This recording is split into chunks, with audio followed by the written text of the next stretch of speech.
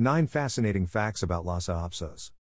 The Lhasa Apso is a unique dog with a fascinating history and its own personality. Although it is a small dog, a Lhasa Apso is not generally what you would call a lapdog.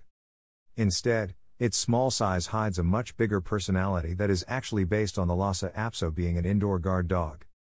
And the history of Lhasa Apsos in the United States is related to Tibet's spiritual leader, the Dalai Lama. There's more to these small dogs than meets the eye. Watch on for 9 fascinating facts about Lhasa Apsos. 1. The Lhasa Apso originates in Tibet. The American Lhasa Apso Club indicates that the breed originated in Tibet, perhaps as long ago as 800 BC. The first known pair of Lhasas in the United States were gifts from the 13th Dalai Lama in the early 1930s. The first Dalai Lama, or Tibetan spiritual leader, was born in 1391, and the lineage has continued in an unbroken line of reincarnated spiritual leaders ever since, according to Tibetan beliefs. A traveler named Charles Suydam Cutting returned to the United States with two Lhasa Apsos and would go on to establish the breed in the U.S. In Tibetan culture, Lhasa Apsos were rarely sold but instead were highly prized gifts. 2. The Lhasa Apso has been a recognized breed since 1935. The American Kennel Club recognized the breed and approved its breed standard in 1935 and is the group's 97th recognized the dog. When the dog first came to the United States, it was known as the Lhasa Terrier and was assigned to the Terrier Group. In 1956, the breed was assigned to the non sporting group, which the AKC considers good house dogs and watchdogs. 3. The Lhasa Apso is named for the city of the gods. Lhasa is the name of the capital of Tibet. In Tibetan, the word Lhasa literally means city of the gods, from from la meaning god and sa meaning city. The meaning of Apso is less clear. Merriam Webster says it means small hairy dog. The American Kennel Club says the word Apso could just be a misspelling of the word Abso, which is part of the breed's original Tibetan name, Abso Seng Kye. 4. The Lhasa Apso is a barking lion. Okay, not actually. But the Encyclopedia Britannica says that the dog's original Tibetan name, Abso Seng Kye, means bark lion sentinel dog. This hints at the dog's historical job as an indoor guard dog. Lhasa Apsos were traditionally kept inside the homes of Tibetan nobility and Buddhist monasteries on guard duty, while the larger Tibetan Mastiff was kept on guard outside the home. Another possible translation is bearded lion dog. 5.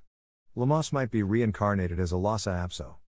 Since the Lhasa Apsos were highly prized as guardians for Buddhist monasteries and temples, their fates have been intertwined with Lamas or Buddhist spiritual leaders.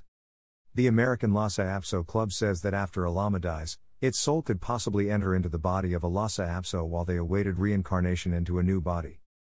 6. A Lhasa Apso is not a Shih Tzu. It is easy for a Lhasa Apso to be confused with a Shih Tzu because both are small dogs with long, double coats. Both breeds are quite similar in their appearance because the Shih Tzu was actually developed from the Lhasa Apso. But according to the breed standard, the Lhasa Apso is slightly bigger at the shoulders at between 10 and 11 inches tall and the Shih Tzu between 8 and 11 inches at the shoulder. Both breeds have curly tail, but the main difference is their personalities.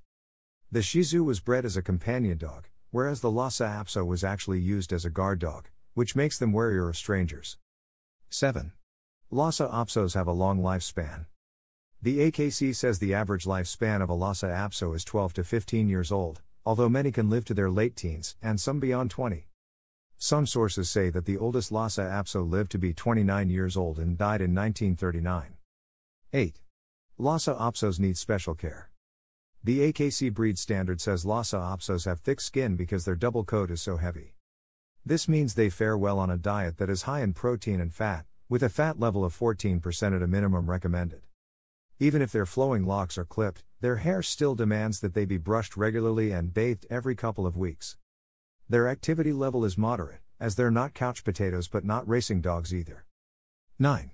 Lhasa Apsos are trainable. If they want to be trained. The AKC says you might need to make it worth your Lhasa Apsos while in order to embark on a training program. It's not that they can't be trained, but just more like they won't go along with you if they don't want to. They are highly intelligent and given their past job as guard dogs, they might be happier if they have a job to do. You might even try your Lhasa Apso on an agility course. If you like the video then make sure to hit that like button. Also if you want more dog training, guides, information then make sure to subscribe to our channel. Let me know what you think of this video in the comments and thank you for watching.